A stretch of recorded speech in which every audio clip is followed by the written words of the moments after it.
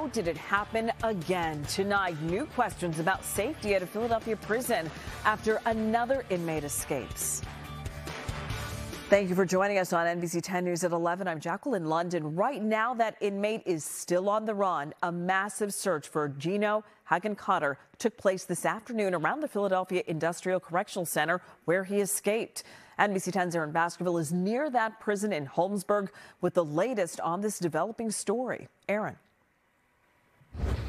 Jackie, I can tell you this all went down around 11:45 this morning. That's when police say 34-year-old Gino Hagenkotter climbed the fence and then took off. I can tell you that everybody we talk to out here wants to know how did this happen. In this case, you gave a person an opportunity and he took it. The manhunt continues tonight for 34-year-old Gino Hagenkotter. Investigators say these are surveillance photos moments after he escaped a work detail at an orchard behind the Philadelphia Industrial Correctional Center in Holmesburg. They say after he climbed a fence to get away, he then took off his prison jumpsuit. This person was allowed to use the bathroom. The officer, when he uh, determined that he did not return in sufficient time, it was then he went to that bathroom area and discovered that he had uh, left the uh, compound. Police hurried to block off streets this afternoon as they tried finding Hagenkotter. We're told he was locked up inside nearby Riverside Correctional Facility on State Road for retail theft and burglary.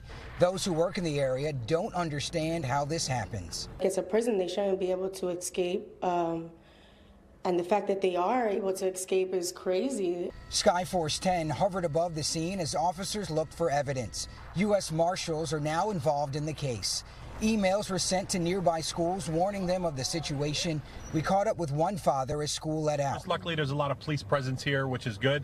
Um, and there's a lot of parents picking their kids up. So I think that's that's okay. Hopefully they're right that he's not dangerous. Authorities tell NBC 10 the 34-year-old was scheduled to be released to a court-ordered program today, but that release was canceled once police found out about a new connection to a criminal case out of Bucks County. The Bucks County matter was retail theft.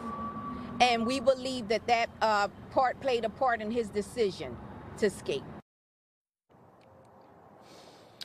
Well, police tell us there is absolutely nothing in his criminal history that shows or proves that he would be dangerous. But they say, of course, if you see him, do not approach him and call them right away. For now, we're live in Holmesburg. Aaron Baskerville, NBC 10 News.